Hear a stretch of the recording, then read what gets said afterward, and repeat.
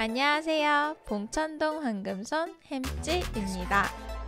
요즘에 뉴트로가 유행인가 봐요. 정말 예쁘지 않나요? 아주 예뻐.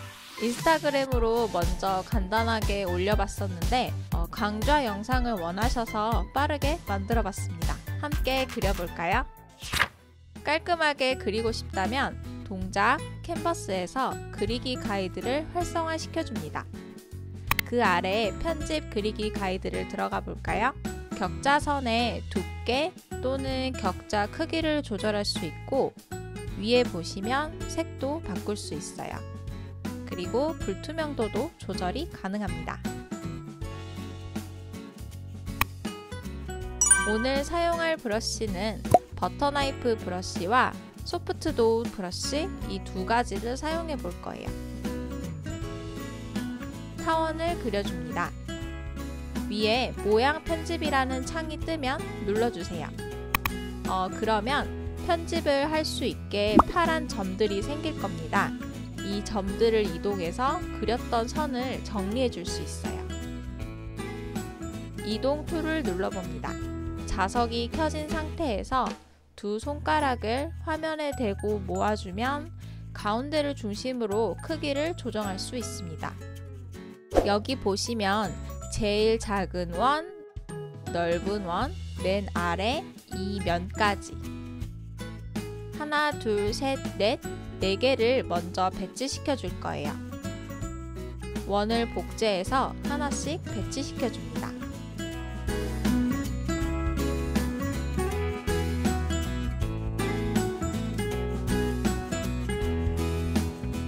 그리고 선을 연결해서 캔의 외곽선을 완성해 줍니다.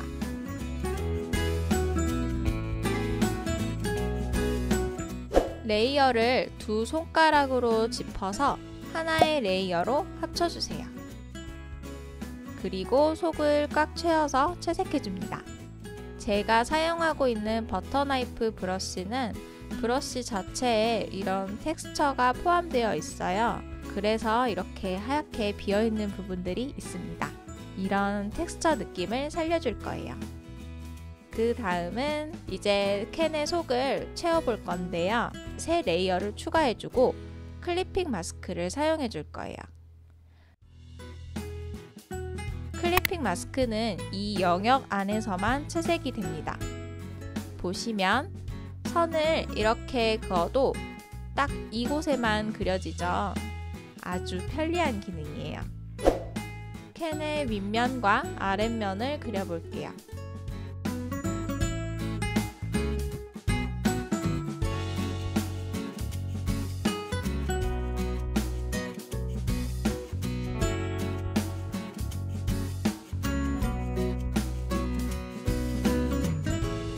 우리가 캔을 두 개를 그릴 거거든요. 이쯤에서 하나 더 복사해 줄 겁니다. layer를 하나 누른 상태에서 오른쪽으로 넘겨주면 다중 선택이 돼요. 이 상태에서 그룹을 눌러주면 여러 layer를 그룹화 시켜줄 수 있습니다. 그룹으로 묶인 상태에서 화살표를 누르고 살짝 크기를 줄여봅니다. 그룹을 왼쪽으로 밀어서 복제. 그룹 하나는 옆으로 이동시켜서 두 개를 두고 그려볼게요.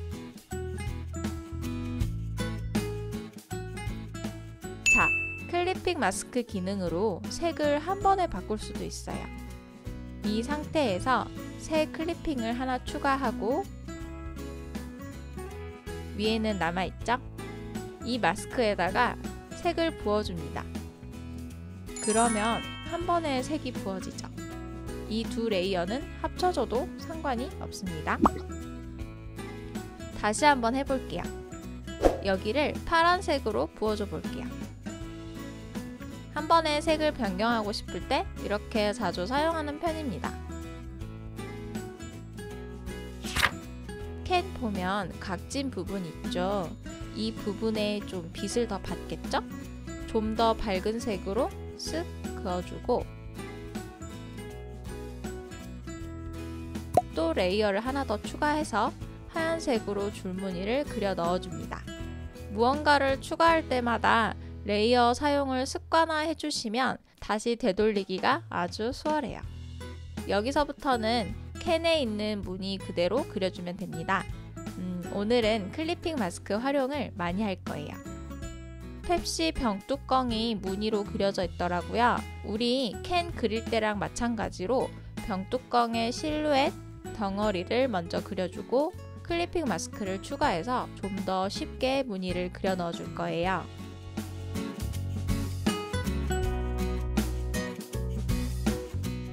이 색 조합들은 패키지를 보면서 하면 되니까 어렵지 않죠?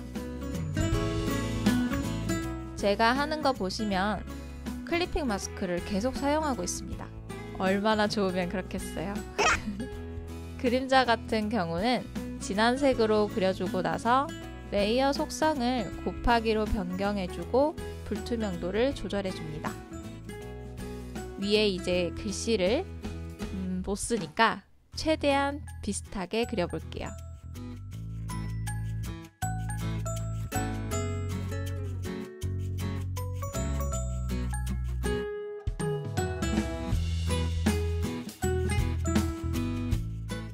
다 쓰고 나서 이렇게 잘 안 맞잖아요. 그럴 때는 이동 툴에서 왜곡 옵션으로 바꿔주고 막 끼워 맞춰요.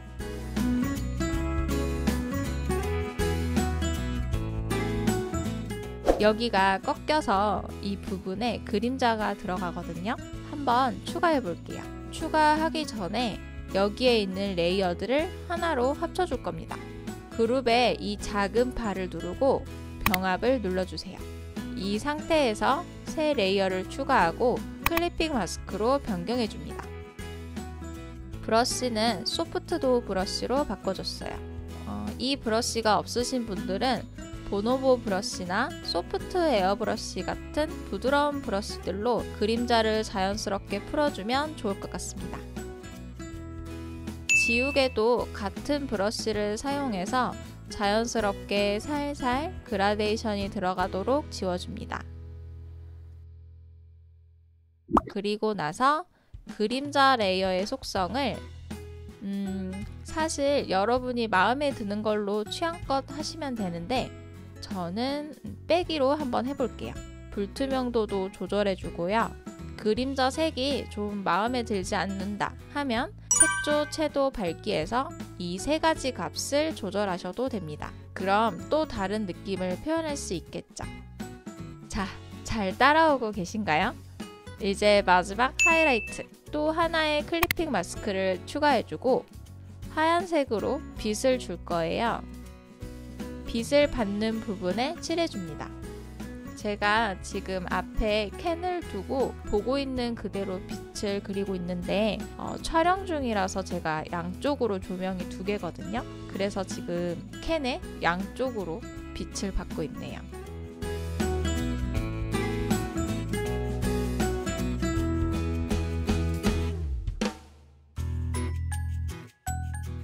이 layer 속성은 음, overlay 이게 좀 반딱반딱 거리는 것 같다.